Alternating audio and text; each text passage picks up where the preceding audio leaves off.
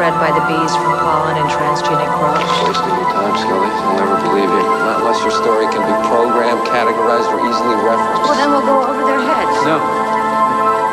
I'll be a doctor, but my work is here with you now. The that virus that I was exposed to, whatever it is, it has a cure. You held it in your hand.